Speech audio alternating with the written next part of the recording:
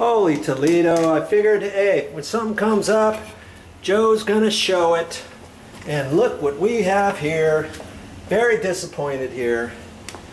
Got the air conditioner on, the HVAC system is right in here.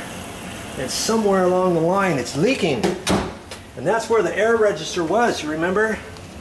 Right there. And see the water here? We got standing water here. Look at that. It's dripping out of here. We're going to shine the light under here. And I'm going to see what it is. You see, you see right there where it's dripping?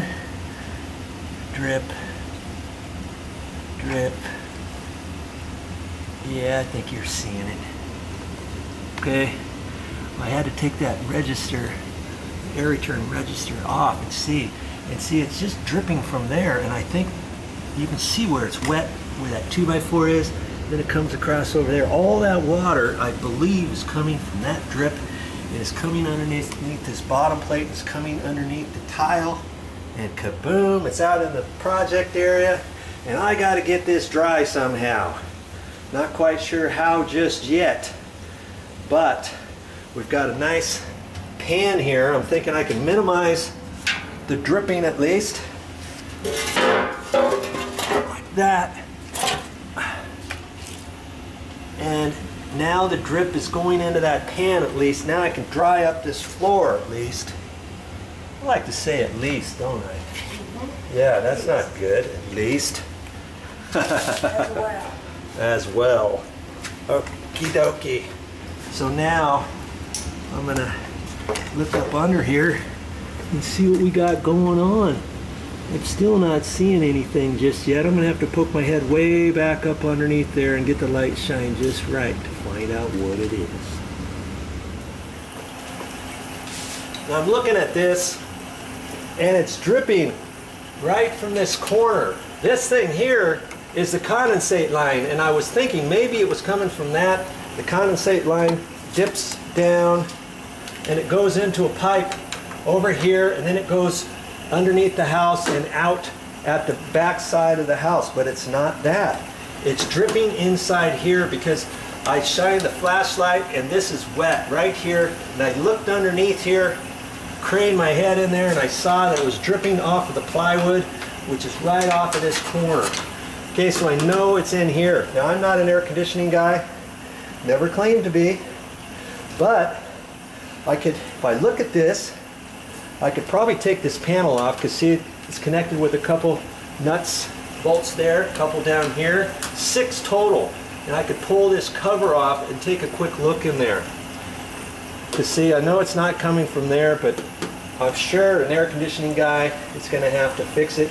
But maybe I could pull this cover off and just look at it anyways and have it ready for someone. I, I don't know, maybe I should leave it this way Looks like there's some electrical. There might be some electrical wires down in there. Either way, if I pull this cover off, I'm going to have to turn the power off to this unit all the way before I even think about working on it.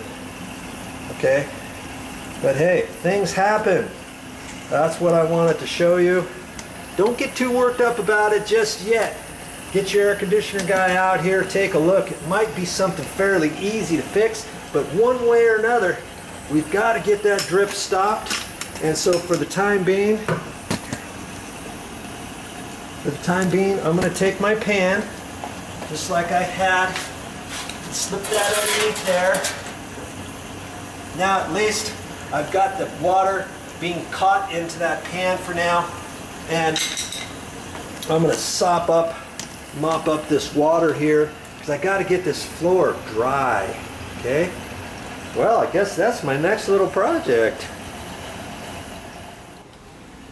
Yeah, I was getting a little bit worked up at first, knowing that this was all wet and I couldn't continue with my project. But again, this is my hallway.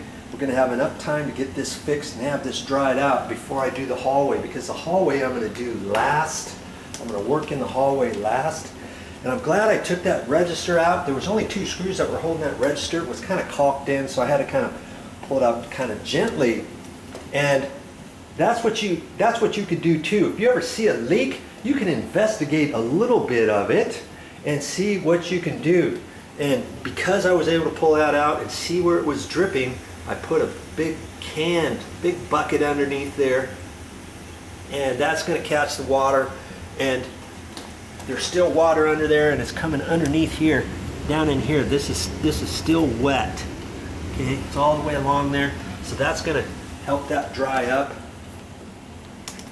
And man, I guess I got that fixed for the time being. Well, that's all I got for this time, but I'll be back with more videos.